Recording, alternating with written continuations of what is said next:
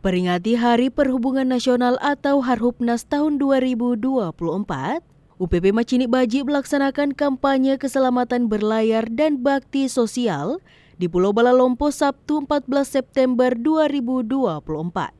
Kepala UPP Macini Baji, Johansyah mengatakan Harhubnas tahun ini UPP Macini Baji melaksanakan kampanye keselamatan berlayar, pembukaan gerai pas kecil, pemberian bantuan sosial korban kebakaran rumah dan memberikan bantuan dana pembinaan dan Al-Quran untuk tempat pengajian.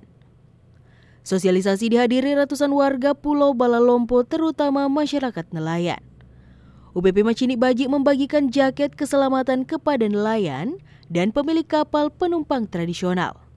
UPP Macini Baji juga menyerahkan pas kecil untuk nelayan dari Pulau Podang-Podang. Sosialisasi keselamatan berlayar dilakukan dengan cara berbeda berupa pemutaran film pendek. Pemutaran film dan pertunjukan musik digelar di Dermaga Beton Pulau Balalompo. Dalam rangka Harhubnas tahun ini, kami mengadakan kampanye keselamatan. Terus uh, membuka gerai pas kecil itu dengan 65 kapal dan kami tetap buka kedua uh, memberikan bantuan uh, sosial yang kebakaran rumah di sini.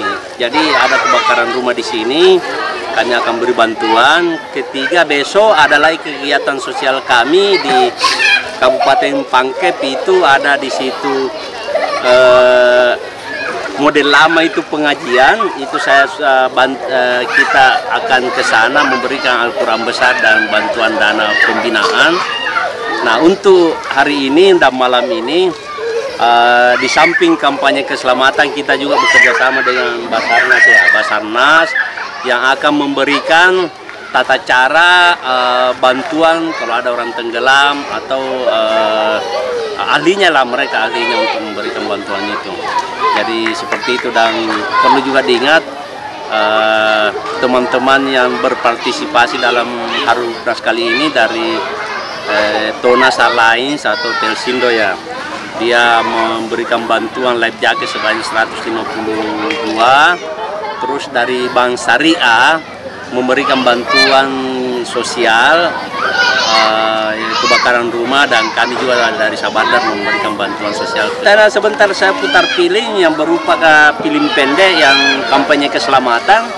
Karena saya tidak mampu ini pangkep ini 117 pulau Nah, tidak mungkin mungkin sampai saya pensiun belum tentu bisa saya datai satu saja. Jadi salah satunya adalah kampanye keselamatan berupa film pendek. Mudah-mudahan film pendek ini bisa dilihat oleh seluruh masyarakat Pangkajedi dan Oke, siap. Dari Kabupaten Pangkep, Sulawesi Selatan, Pangkep TV.